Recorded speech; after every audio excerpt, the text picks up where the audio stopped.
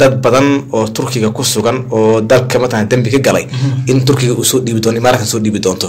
Oo uu ka mid yahayba ilka case oo madaxweynihii dalka soo maray dowlad deegaanka. Oo halkaa ku sugan in laba gobolo meesha ku sugan. Dad badan oo mataqana halkaa joogo. Marka laba mid bay noqon in raggii heer fadaal laga soo diray iyaga lafta afka loo buuxiyo layidhi mataqana waxba heshiiska mataqana uu saameyn doonaa. Xitaa mustafa iyo kuwa hadda la waxaynayo. Haddii beri ka maalin ay baxsaan inaysan tegi karin meesha ayada. Ayaga lafta uu qabanay sharciga.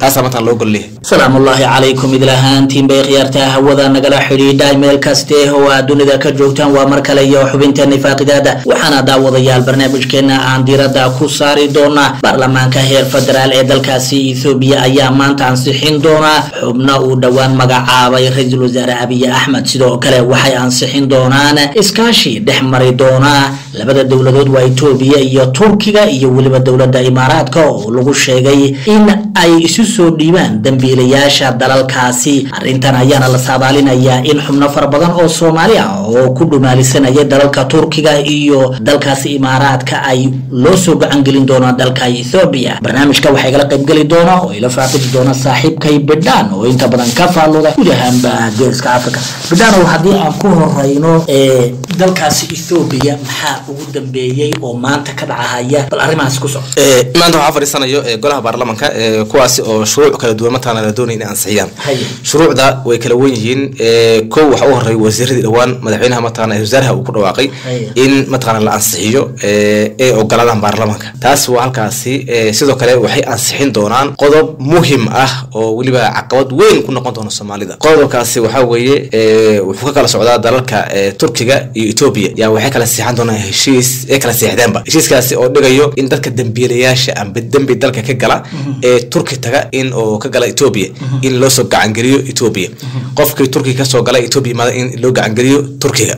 Adi waa iswadaarsi dhanka dambiilayaasha sidoo kale idan imaaraadka saasoo kale heshiiskaasna wuu jiray asna matana waa la saxiixaya marka labadaas heshiis ee imaaraadka iyo lala seexday turkiga haddii qalinka lagu duugo waxaa meesha markaas dhimaanayo dad badan oo turkiga ku sugan oo dalka mataqana dembi ka galay in turkiga uu soo dhiibi doono imaaraadkan soo dhiibi doonto. Oo uu ka mid yahayba ilka case oo madaxweynihii dalka soo maray dowlad deegaanka oo halkaa ku sugan in laba gobolo meesha ku sugan dad badan oo mataqana halkaa joogo. Oo weliba lagu yani lagu tumay inay malaayiin bir. Maabir ay qaateenba ha oo lacagta hadda meesha ku tageen iyo lacago badan oo hadda u shaqeynayay iyo kuwo badan oo dalka ku burinayeen oo t v ay qayb ka siinayeen waxoo dhanba marka lacagahaas iyo dambiyada ay galeen waxoo dhanba loo haysto oo etoobiya dee dambi gooni ay ka galeen. In mataqana uu sharcigan saameyn doono yaa laga yaaba inuusan saameynin oo isa etoobiya danka gelinna way dhici kartaa oo wixii dambe uu mataqana u afafadhiganayso laakiin waxa keenayba in mataqanay turkiga lala galo. Turkiga ethoobiyan inta meesha ka baxeen xagga tegay ma jiraan. Ma laakiin dadka tegay soomaali wey marka waxa meesha heshiiska lala gelayo turkiga iyo kan imaaraadka dubai lala gelayo waxaa weeye uun sharad loo dhigayaa uun dadka soomaalida mataqana halkaa joogay ee dalka mataqana dambiil ka galay ka cararay oo dowladda weli cabdi ilay dadkii baakay sameeyey lacagaha badana dhacay. Yaa intaan yaa loo jeedaa?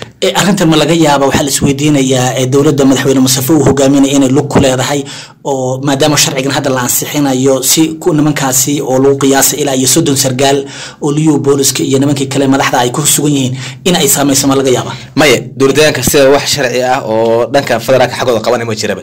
Haddii uu qabanayo cabdi ilay dambiyada uu ka galay muxuaha deegaanka. Waa la garanayay oo soomaaliya mataqana u geystay dil iyo dhac iyo kufsi oo dadkaas uu amray ay sameynayeen aad bay mataqana u badnaayeen. Saas saasuu jirta haddana wuu haddana wax dembi ah oo soomaalida xaggiis ku saabsan oo lagu soo ogey maba lahanba. Dembiga loo haysta waa afar axmaaro oo mataqanay christian meel lagu dil maalin yaa mataqana yaa loo haystaa lagu leeyahay marka taa waxay kutusinaysaa marka dowladdaanka in waxooda mataqana u sii soconayn yaa dareemi kartaa marka wax calaaqa ah oo ay ku leeyihiin ma jirto. laakiin waxay doonayaan oo heshiiska mataqana uu saameyn doonaa. Xitaa mustafa iyo kuwa hadda la waxaynayo haddii beri ka maalin ay baxsaan inaysan tegi karin meesha ayada. Ayaga lafta uu qabanay sharciga. Taasaa mataqana loo gol leeyahay aad iyo aad baad u mahadsan tahay haddii aan u gudubno dhanka dowlad deegaanka waxaa jira qiimeyn oo lix biloode oo lix bilood mar dhacdaa jirta oo dowlad deegaanka mataqana dowlad deegaanka laga sameeyo. Marka dowlad deegaanka oo weliba wafdi heer federaal mataqana uu qayb u ka yahay. Yaa mataqana qiimeynta mataqana yaa sameynayay. Dowlad deegaanka aad bay iskugu ammaaneen in qiimeynta mataqana ay ku guuleysteen. Markii ay dhamaatay markay dhamaatay maadaama haddii mataqana si iyaga rabeen mataqana ay u dhacday. Laakiin kan wax cunay iyo kan mataqana xisaabinayo iyo kan mataqana wuxuu dhan waa isla ayagoon marka waxaa weeye waxay inta isku ceshadeen iyaga is xisaabiyeen waana sax bay xisaabta mataqana waa iskeentay Waa- isagii rabay mataqana ku imaatay. Laakiin abiy wuxuu yidhi annagaa mataqana tilaabo kale ka qaadi doono. Oo ah maadaama kuwa heer ay nagu jireen xogo dheeraad inoo soo gudbiyeen wixii naga- nagaga aadan innagaa mataqana ka qabsan doono. Taasi oo ah hanjabaad ah in mataqana wax ka jiro musuq badan uu jiro ay tusinayso.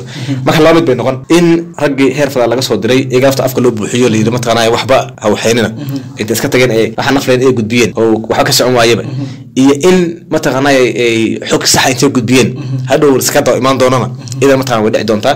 Taas waa dhanka qiimeynta. Aad iyo aad ayuu mahadsan yahay kaasi wuxuu ahaa bidhaan oo inta badan ka faallooda arrimaha geeska africa daawadayaal barnaamijkeeni faaqidaadana inta ayaan ku soo gabagabeynayna intaan dib damba ugu kulmi doono. Mid kan mid lamida waxaan kaga tegaynaa sidaa iyo nabadgelyo